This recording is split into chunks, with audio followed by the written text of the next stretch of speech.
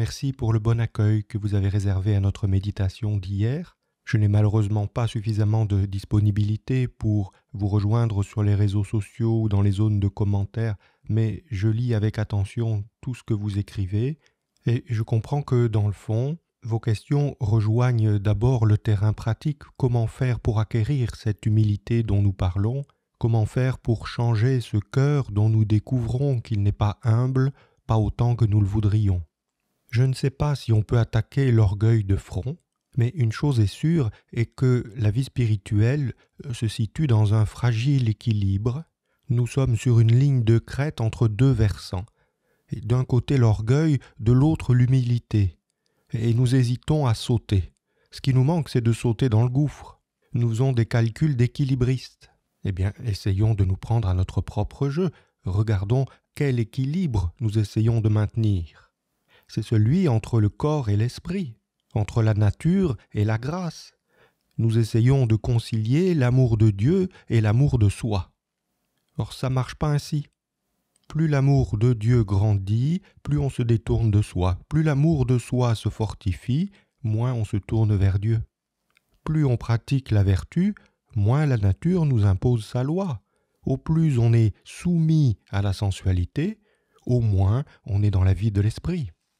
Donc plutôt que d'attaquer l'orgueil de front, regardons les trois autres ennemis, la sensualité ou le plaisir, la recherche de la vaine gloire, la cupidité, le désir d'argent et, du pouvoir qu'il apporte.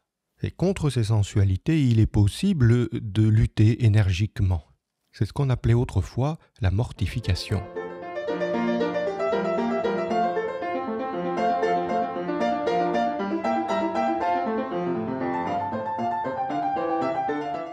Écoutez Il est midi, un podcast proposé par la famille de Saint-Joseph et présenté par le frère Dominique Joseph.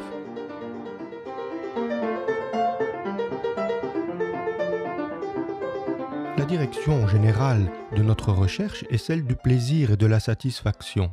Soit on le trouve dans les sensualités, soit on le trouve dans la vie spirituelle, mais nous recherchons le plaisir.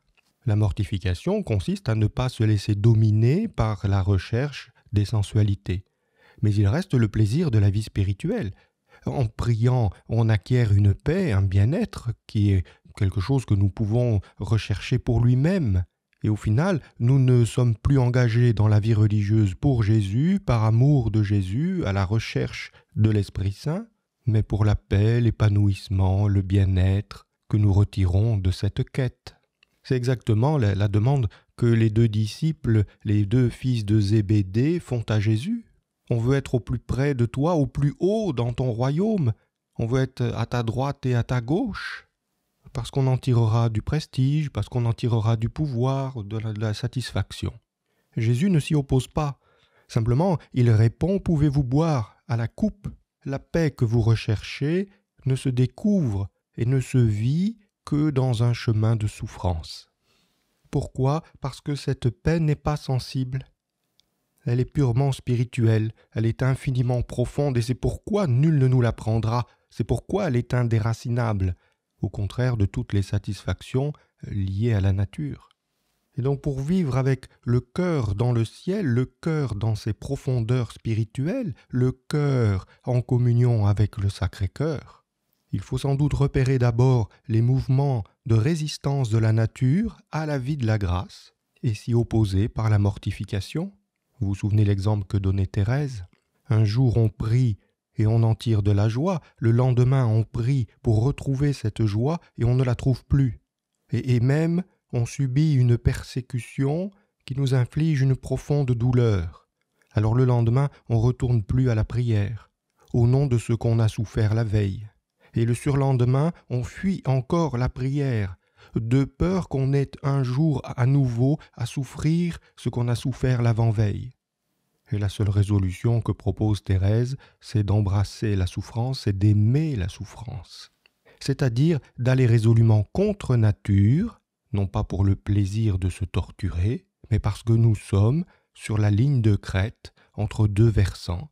Il y a l'orgueil et l'humilité, la nature et la grâce, l'amour de Dieu, l'amour de soi, toute concession faite à l'un nuit à l'autre. Et si l'on n'est pas capable de sauter à pieds joints dans le gouffre de l'amour de Dieu, alors il faut au moins, c'est un bon début, se détourner du gouffre de la sensualité, de la cupidité, de la vaine gloire, de l'attrait du pouvoir.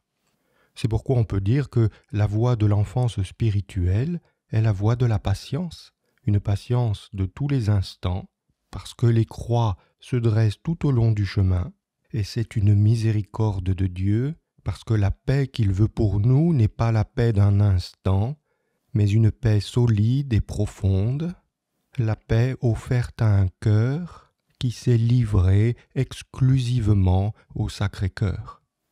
Frères et sœurs, il est midi. L'ange du Seigneur porte l'annonce à Marie.